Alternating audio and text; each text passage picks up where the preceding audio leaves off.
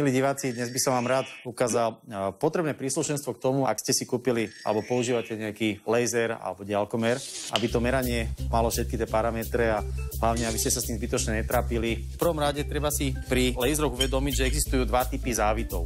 Na menšej laseре alebo všetky diálkomery je štandardný fotozávit, čiže ak máte niekto doma fotostátiu na kameru, na fotoaparát a tak ďalej, nie je problém tento istý statív použiť aj na všetky laserové ďalkomere, ale aj na všetky menšie lasery, ktoré majú vlastne tento závit e, zo spodnej časti. V prípade, že sa bavíme už o väčších stavebných laserov, ako je napríklad rotolasery alebo tieto líniové lasery, tak sa používa vlastne závit na stavebné statívy s väčším priemerom. V prípade, že mám už takýto väčší statív a potrebujem na to uchytiť nejaký ďalkomer alebo tento menší laser, tak mám aj vlastne takýto adaptér, kde nemám problém z veľkého stavebného závitu prejsť na malý fotozávit na fotostatív.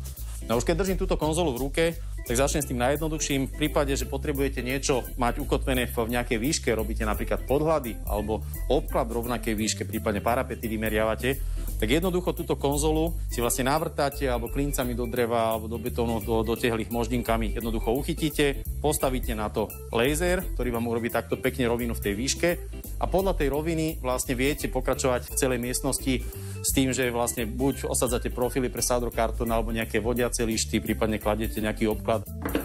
Toto je úplne základná konzola na stenu. Existuje aj konzola, kde máte možnosť naklapať si uhol od 0 do 90 stupňov a to samozrejme má zmysel pri nejakých schodiskách, sklónoch, striech, e, rôznych spádoch. Viete vlastne si vytýčovať rozsahu od 0 do 90 stupňov. Posledná z konzol, ktorú by som tu rád ukázal, je vlastne konzola, ktorá sa používa pri zakladaní stavieb. Hlavne ak máte nejakú základovú dosku a nejaké drevené jebnenie okolo toho, Uchytíte to na roh vašej základovej dosky a nastavíte si to tak, aby ste presne jeden lúč mali v tomto smere a druhý kolmo a podľa toho buď môžete, keď robíte len šalung, začať betonovať, alebo keď už máte základovú dosku, môžete klásť tehly. No a od takýchto konzol by som sa teda presunul statívom. Sme si tu ukázali základný malý fotostatív. Všetky fotostatívy, alebo teda veľká väčšina má samozrejme takýto rektifikačný nastavec. To znamená, že ja si ho viem výškovo upravovať, nie je problém natáčať aj nejaké sklony. Pri ďalkomerí to zásadný zmysel nemá skôr pri laseroch. Pri ďalkomeroch sa to používa vtedy, keď meráme e, väčšie vzdialenosti, pretože z ruky nejakých 100-200 metrov nie ste schopní odmerať, pretože ten pohyb pár milimetrov v ruke na 100 metroch lieta už hore dole meter po stene. No a z týchto fotostatívov môžeme prejsť na stavebné statívy s závitom pre väčšie stavebné lasery ja by som tu ukázal len dve možnosti. Najmenší statív, ktorý môžete mať v takéto výške 69 cm a viete ho ale vysunúť až do 1,70 m. Takýmto spôsobom to zafixujete. No a opačný prípad toho najmenšieho lasera je, je najväčší, ktorý vieme uh, skôr až do 3 metrov vytiahnuť. Čiže vidíte, jednak si ho vieme v nožičkách ešte vysunúť, tieto nie sú úplne vysunuté. Máme rektifikačný nastavec, ktorý má tiež nejaký posun.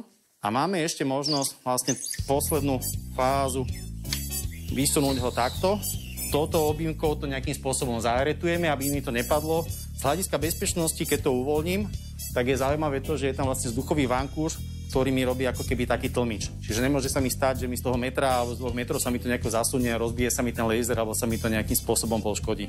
A posledná možnosť, ako merať vo výške, dokonca ešte väčšej, ako dočiahne najväčší stavebný statív. S touto teleskopickou tyčou dosiahneme až do 3,65 metra, čiže na väčšinu všetkých klasických stropov to úplne dostačuje. Je tu takáto konzola, ktorú si prichytíte vo výške, v ktorej potrebujete. To fixovanie funguje tak, že jedna, je to vlastne troj teleskop, ktorý keď sa vysúva, tak vlastne to úplne dotiahnutie do, dosiahnem vlastne stláčaním tejto páky.